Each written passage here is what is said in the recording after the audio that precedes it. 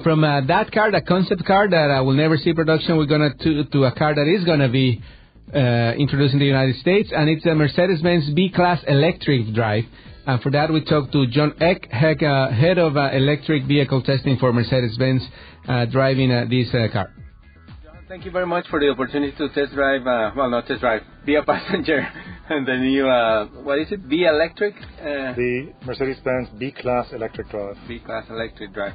Uh, a car that is coming to market next year, I understand, uh, but uh, we get the rare opportunity to, try, to drive with someone who is testing the car. So, thank you for that. Very welcome. So, what can you tell us about this car? It's uh, it's an electric car that is coming from Mercedes-Benz, but uh, tell us about the, the, the, the characteristics of it, please. Well, what we did is um, take the original Mercedes B-Class, which so far has only been available in Europe, um, and put an electric drivetrain and a, a battery inside. The, the platform of the B-Class actually enables us to do that uh, with a uh, step in the underbody where we can uh, accommodate for the battery, um, which then as a package gives us a, a vehicle with about 115 miles of range, um, fully electric, um, 130 kilowatts or 174 horsepower, um, 250 uh, foot-pound of torque, um, top speed of 100 miles, which is limited uh, for consumption reasons, and an acceleration of uh, 0 to 60 miles in 7.9 seconds. And is there any uh, new technology in, in terms of the, the battery park, the charging process, and all that? Um, well, the uh, drivetrain and as well as the battery, um, we uh, get supplied from Tesla. So the uh, technology is basically known from other electric vehicles. However, it has been adjusted to um, fit into this car. Uh, especially the battery package has been designed uh, especially for this car by Tesla. Yeah, and uh, you were during the drive. You were showing us some different modes of uh, regenerating the battery. Can you t- talk right. about that? Um, so there's a there's a default mode of uh, regenerative braking uh, when you start off the car, but then the shift pedals on the steering wheel allow you to change change into different regen modes uh, varying from uh, free coasting uh, all the way to full regen just when you lift your foot off the pedal.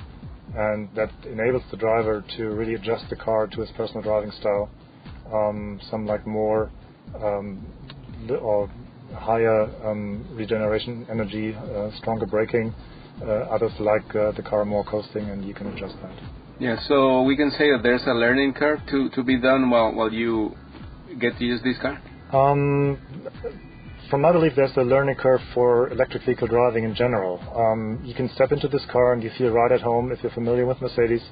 Um, you find all the controls in, in the typical spots, so you can step into the car, drive off immediately without any learning time, and feel right at home. However, um, driving electric cars uh, will probably change your driving style. Um, and over the time of probably a couple of days, a couple of weeks, you adjust to electric vehicle driving and you learn while you go along.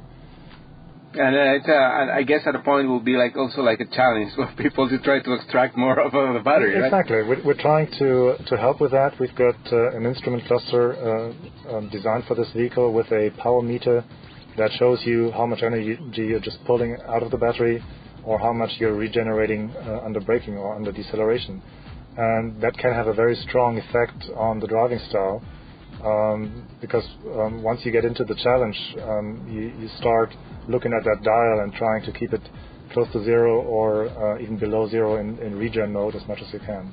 Yeah, okay.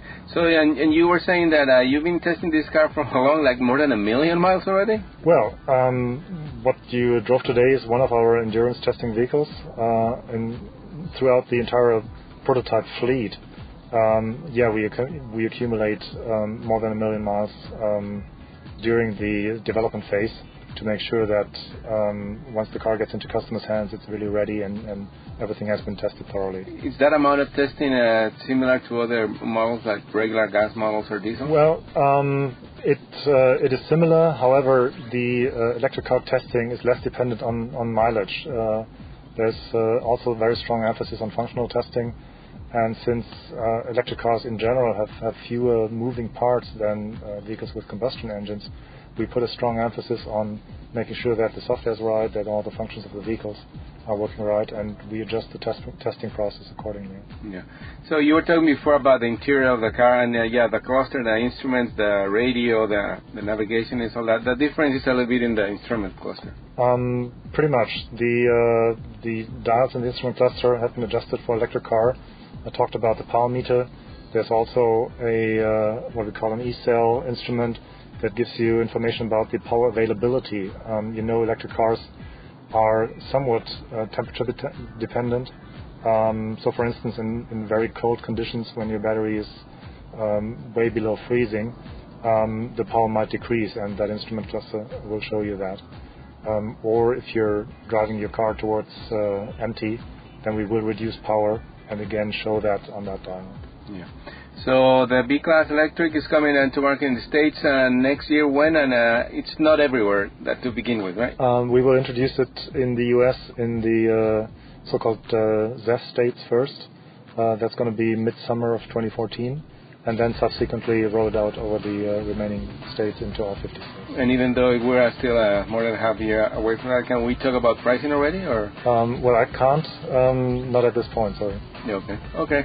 Well, thank you very much for the unique experience of uh, driving with you during the testing of the new B-Class Electric. You're very welcome. Thank you.